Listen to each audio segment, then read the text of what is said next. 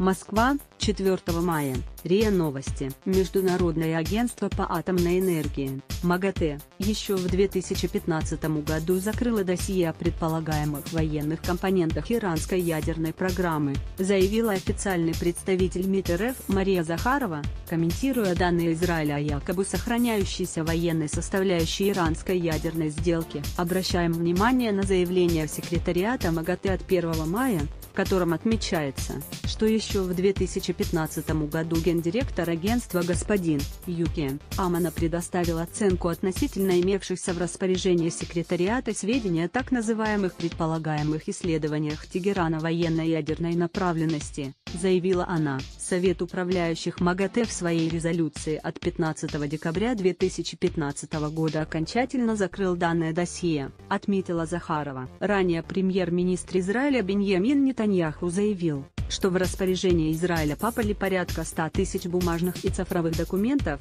которые доказывают, что у атомной программы Ирана была секретная военная составляющая под кодовым названием «Проект Амат». Нетаньяху настаивает на том, что Иран нарушил свои международные обязательства уже тем, что скрыл данные о программе и хранил их в расчете на использование в будущем.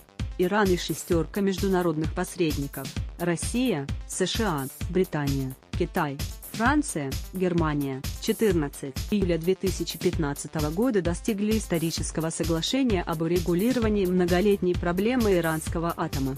Был принят совместный всеобъемлющий план действий, СВПД, выполнение которого снимает с Ирана введенные ранее экономические и финансовые санкции со стороны СБ ООН, США и Евросоюза.